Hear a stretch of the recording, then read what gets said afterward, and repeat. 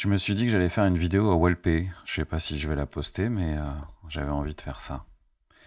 J'avais envie de faire ça parce que ça fait un moment que je me dis qu'il faut que je le fasse. Il faut que ça sorte. J'ai tellement de trucs à vous raconter.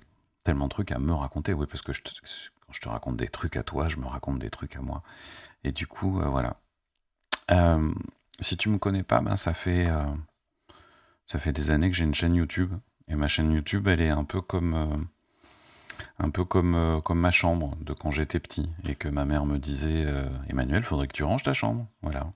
J'aime pas ranger en fait. Euh, pour moi, le le rangement, c'est ça touche à un truc de rigidité. J'aime que la vie s'exprime dans son dans sa plus grande liberté.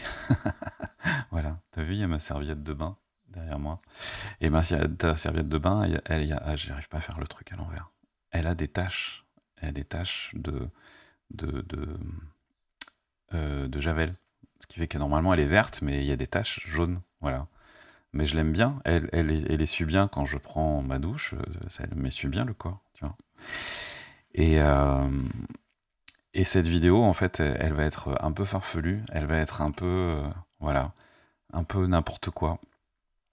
Euh, donc je parlais de ma chaîne YouTube, je risque d'ouvrir des parenthèses, de me perdre dedans, ça fait partie aussi de mes particularités. Euh, cette vidéo, elle a, elle, a pour but de te parler de l'amour de soi mm, et de me parler de l'amour de moi. Voilà. Tu as vu ce corps? Voilà, c'est mon corps. Euh, je suis gros. Je pèse, euh, je sais pas combien je pèse parce que ça fait plusieurs années que je me suis pas monté sur une balance. Alors, est-ce que c'est une fuite? Est-ce que c'est un déni? Est-ce que c'est. je sais pas. Je m'en branle. Je m'en bats les couilles. Mais grave. Ouais.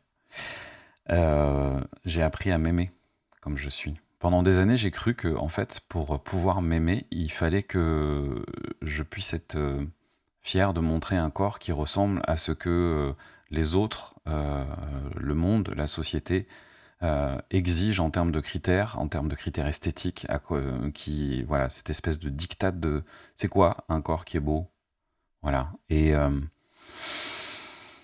hmm, et pendant des années, je me suis fait mal. Je me suis fait mal à, me torturer euh, l'esprit, à me torturer le cœur, à me poser plein de questions de savoir euh, est-ce que est-ce que c'est normal que je sois gros Euh, Comment est-ce que je peux être aimable Comment est-ce que je peux attirer le désir sur moi euh, des femmes, euh, des gens, même dans le boulot, dans toute autre relation, sans qu'il y ait de connotations euh, amoureuses, sexuelles ou quoi que ce soit avec ce corps-là.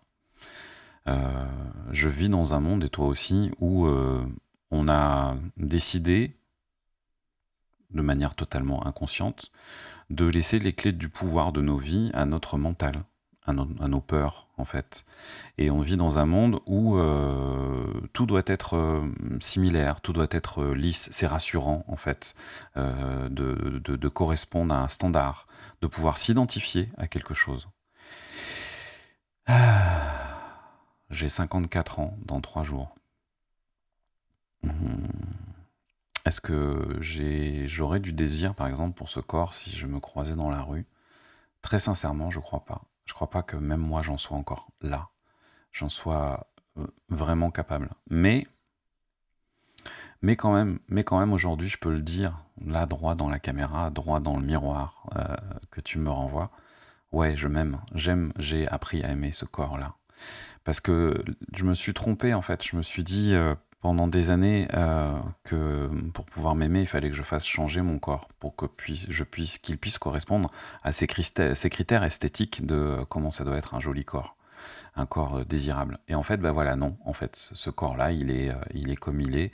Et ma mission dans cette vie-là, j'ai pris conscience il n'y a pas très longtemps, grâce au, tantra notamment, et beaucoup de travail sur moi, euh, que ma mission dans cette vie, c'était d'apprendre à aimer ce corps-là et de m'aimer comme je suis. Et que si un jour mon corps devait se transformer pour devenir un peu plus standardisé, eh ben, ça se ferait après l'amour, en fait. Et que ça ne devait pas être un- une condition à, l'amour. L'amour pour moi et l'amour pour toi, il doit être inconditionnel.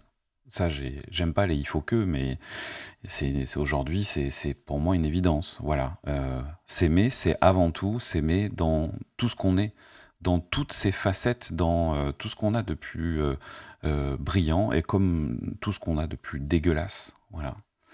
C'est pour ça que j'ai décidé de, de faire cette vidéo. pour te dire ça, pour te dire aime-toi tel que tu es. Voilà. Moi j'ai appris à m'aimer tel que je suis. Et, et souvent c'est, je suis bousculé. Souvent j'ai des doutes. Je m'aime pas tous les jours. Tous les jours je me trouve pas je me trouve pas chouette, je me trouve pas beau, je me trouve pas intéressant.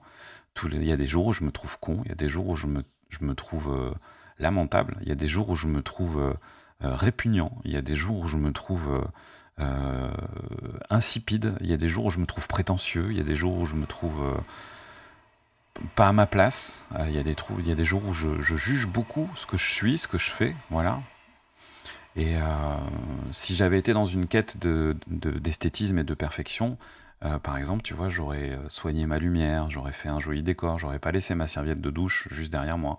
Je me serais rasé ici, là, parce que j'aime bien quand je suis un peu rasé ici, là, et que j'ai la barbe, là, comme ça. Mais ça, ça correspond à un, personnage. C'est un truc d'ego, en fait. L'ego, c'est ce à quoi on s'identifie. C'est notre personnalité, c'est l'ensemble de nos personnalités.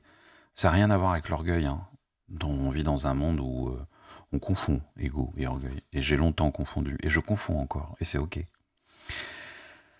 Ah. Je suis photographe. Je fais des photos. Je fais des vidéos. Non, je suis pas photographe. J'exerce la fonction, j'exerce le métier de photographe, de réalisateur. Et depuis des années, j'ai euh, devant mon objectif des, euh, je photographie, je filme des gens magnifiques des gens sublimes, des gens euh, que je trouve waouh, que je vois, qui me qui me font de l'effet euh, parce que je les trouve beaux, voilà. Et ce que j'ai remarqué, et c'est aussi un, des déclencheurs qui m'incite à faire cette vidéo et, à te partager ce message, c'est que les gens les plus que moi j'ai trouvé le plus beau sont aussi des gens souvent qui ne s'aiment pas. Ouais. J'ai passé un week-end avec euh, une amie, une femme géniale qui fait des stages euh, qui propose des, choses extraordinaires, qui est une femme éveillée, qui a une carrière, euh, qui a une carrière brillante, qui est euh, multitalentueuse. Elle est danseuse, elle est comédienne, elle, écrit, elle, se lance aujourd'hui dans le podcast, elle accompagne, elle est prof de yoga. on a fait des formations ensemble, on a fait des stages ensemble. Et c'est quelqu'un que je trouve absolument sublime. je trouve qu'elle a un sourire incroyable, elle a elle a un regard d'une profondeur et, voilà, quelque chose qui me, touche là, dans, mon, petit cœur à moi. Et, euh, et cette femme-là, qui est certainement pour moi, avec mes yeux, avec mon cœur, avec mon regard, mon appréciation, euh, allô? Ouais. C'est certainement pour moi une des femmes que je trouve les, les, plus belles, si tant est que la beauté puisse être, puisse être euh, un adjectif objectif. Allô? L'appareil photo, tu me filmes ou pas? Ouais. Si tant est que la beauté puisse être euh, objectif, alors que pas du tout, la beauté pour moi c'est totalement subjectif. Cette femme-là, je la trouve, bah, tu veux vraiment pas faire le point sur ma gueule. C'est incroyable. Ok. Il va falloir que je fasse quelque chose. Attends, bouge pas.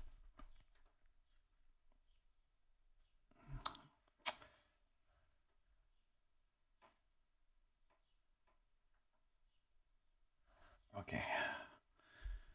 J'espère que ça va mieux marcher comme ça.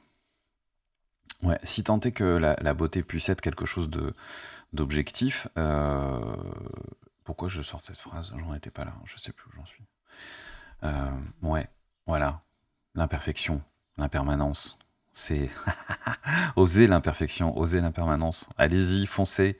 Voilà. Bah donc, du coup, cette femme extraordinaire, magnifique, sublime, elle s'aime pas. Elle s'aime pas et des fois elle se trouve moche alors que, alors que sa beauté a été quelque part son fond de commerce aussi, au-delà du talent, euh, au-delà du fait euh, que c'est une super danseuse, que c'est une super comédienne, que c'est euh, qu'elle fait des choses extraordinaires et qu'elle a vraiment du talent. Ben voilà, il y a c'est des métiers où ces critères esthétiques ont une importance. Et j'en suis arrivé à la conclusion que tous les deux, on se ressemble. Non, décidément, l'objectif, il ne veut pas faire le point sur moi. Je vais mettre une autre caméra, je ferai un autre. c'est très rigolo. Euh, ouais, j'ai trouvé qu'on avait un point en commun. C'est-à-dire que pendant des années, en fait, moi, peut-être que je me suis aussi caché derrière ce corps euh, pas, pas désirable, et que la volonté profonde, c'était aime-moi pour ce que je suis dedans et pas pour mon apparence puisque cette apparence-là, elle ne correspond pas aux critères que la société euh, exige de, qu'est-ce que c'est qu'être un homme aimable, comment ça doit être un homme, un homme désirable. Voilà. Euh, au-delà de l'amour, il y a aussi le désir. Euh, au-delà du désir, il y a surtout l'amour. Mais, et du coup, voilà, et, cette femme-là, elle, elle au final, elle, a le même problème que moi. C'est-à-dire, elle se cache aussi à l'excès inverse derrière sa beauté. Euh, et son désir le plus profond, c'est aussi aime-moi pour ce que je suis au fond de moi. Et j'ai souvent été euh, très très pote avec des, des femmes et des hommes très très beaux, souvent qui ne s'aimaient pas. J'ai photographié des, des, des, dizaines et des dizaines de comédiennes qui, qui étaient toutes plus sublimes les unes que les autres, et aucune ne s'aimait vraiment. Voilà. Donc ça rassure de me dire que ces gens super beaux ne s'aiment pas eux non plus. Peut-être que ça va te rassurer toi aussi de savoir que ces gens super beaux ne s'aiment pas forcément eux non plus. Combien il y a de comédiens qui disent euh, moi je vais pas voir les films, je supporte pas ma gueule à l'écran. Et je vais t'expliquer un truc, un tout petit truc de photographe. Pourquoi est-ce qu'on s'aime pas euh, quand on est euh, comme ça en photo? Eh bien parce que la plupart du temps, quand on se voit, on se voit dans un miroir. Euh, on, ne se voit pas tel que les autres nous voient. Nous, on, se voit dans un miroir. C'est comme la voix. Quand tu entends ta voix pour la première fois, quand elle a été enregistrée, tu reconnais pas ta voix. Parce que toi, quand tu écoutes ta voix, tu entends la voix qui sort de ta bouche, euh, de, tes cordes vocales, et qui va dans l'air, qui fait vibrer l'air, et qui va jusqu'à tes oreilles. Mais tu entends aussi les résonances intérieures de ta voix, de ton souffle, dans ta cage thoracique, dans ce qu'on appelle les résonateurs. Euh, ça participe à la perception du son que tu as de ta voix. Et eh ben, ton image à toi, la seule chose qui te renvoie ton image au quotidien, c'est quand tu, te croises dans un miroir. Or, la particularité d'un miroir, c'est qu'il y a un effet miroir, c'est-à-dire que l'image, elle est inversée. Elle est inversée en, euh, tout simplement euh, au niveau de la symétrie gauche-droite. Voilà, donc quand tu, quand tu te vois en photo, eh ben tu t'aimes pas parce que euh, c'est pas l'image que tu as l'habitude de voir de toi. Tout simplement. Prends une photo, n'importe laquelle, inverse-la, gauche-droite, et tu vas te dire Ah ouais, finalement je me ressemble. Pourquoi? Parce que nos visages ne sont pas symétriques. Nos visages ne sont pas symétriques. je vais laisser la vidéo comme ça jusqu'au bout, je vais pas la couper, je vais la publier telle qu'elle. Nos visages ne sont pas symétriques. Donc ça c'est un tips de photographe. Si tu t'aimes pas en photo, c'est uniquement parce que ça ne correspond pas à l'image que tu as l'habitude de voir de toi. Et que on est tous dans des gimmicks. Hier j'ai fait un selfie avec une copine aussi pareil. Elle m'a dit ça va prendre du temps. Elle m'a prévenu. Elle m'a dit ça va prendre du temps. Et j'ai compris qu'en fait ça, voulait dire qu'il fallait euh, qu'elle attende de se trouver belle dans, dans son téléphone. Et c'est vrai que moi aussi, hein, je fais ça. Euh, voilà, j'essaye de trouver le meilleur axe, la meilleure lumière. Souvent, c'est légèrement plongé comme ça, avec une belle lumière qui, gomme un peu les défauts de la peau. Euh, et, j'ai dit OK, et on a fait, euh, ça a duré cinq minutes, et elle a fait, on a fait trois, quatre photos, et qu'elle se trouvait belle sur les photos. Et puis elle m'a dit, et toi, tu choisis laquelle? Et je l'ai regardé, je suis encore flou. T'as vu, c'est bien rangé derrière. Hop, je me mets au milieu en fait. C'est fou ça.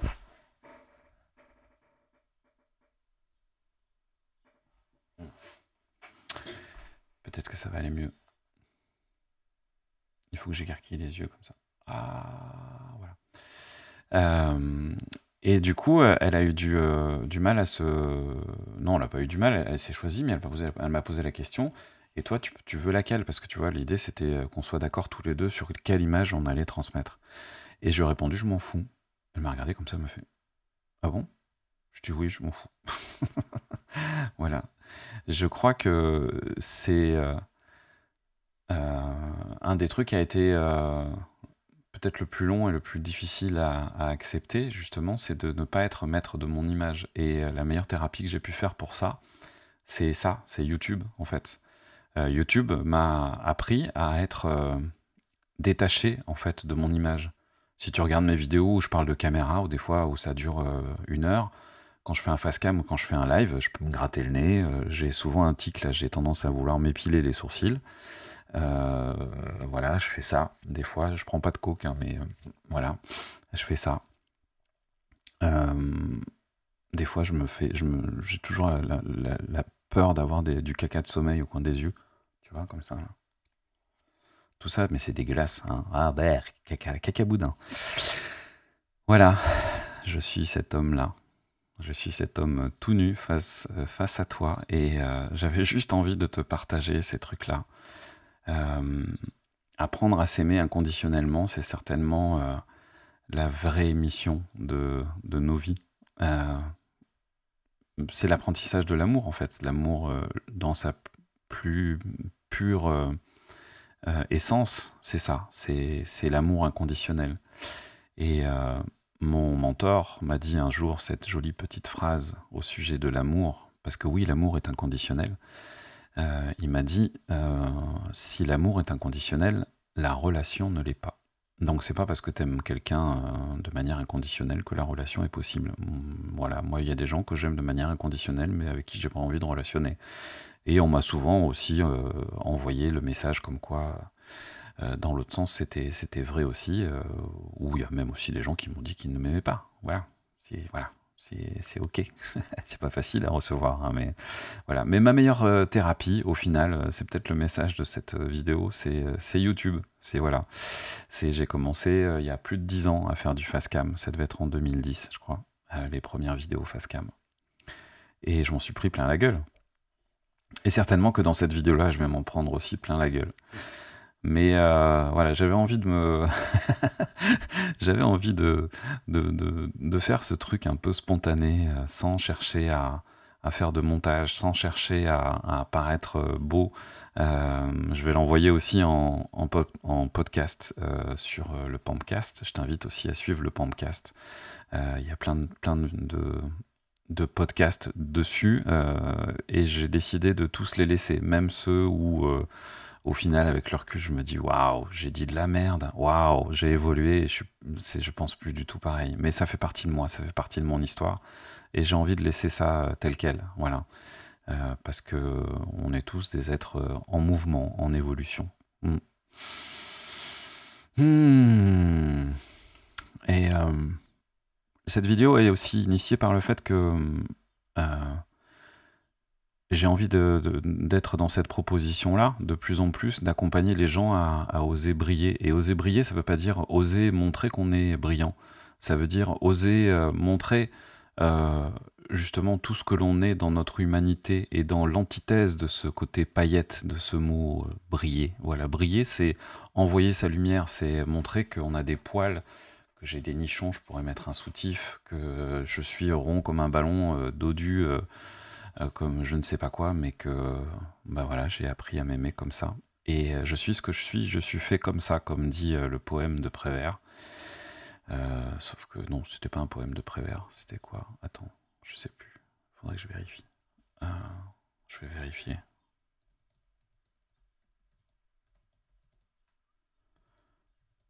Ah oui, si, je suis comme je suis, je suis faite comme ça.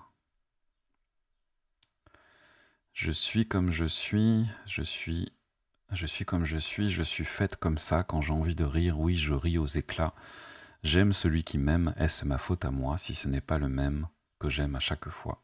Je suis comme je suis, je suis faite comme ça. Que voulez-vous de plus? Que voulez-vous de moi? Je suis faite pour plaire, il n'y puis rien changer. Mes talons sont trop hauts, ma taille trop cambrée, mes seins beaucoup trop durs, et mes yeux trop cernés. Et puis après, qu'est-ce que ça peut vous faire? Je suis comme je suis, je plais à qui je plais. Qu'est-ce que ça peut vous faire, ce qui m'est arrivé? Oui, j'ai aimé quelqu'un, oui, quelqu'un m'a aimé. Comme les enfants qui s'aiment simplement, savent aimer, aimer, aimer. Pourquoi me questionner? Je suis là pour vous plaire et n'y puis rien changer. Voilà, bon, J'aime euh, ce, poème. Il est euh, il y a le texte et le sous-texte qui est euh, que je trouve très très chouette. Voilà. Allez, j'arrête j'arrête cette vidéo. Ça fait combien de temps que j'enregistre? Oh là là, presque 20 minutes de blabla face caméra, sans montage, sans rien. J'ose jusqu'au bout, je publie. Des bisous, à bientôt.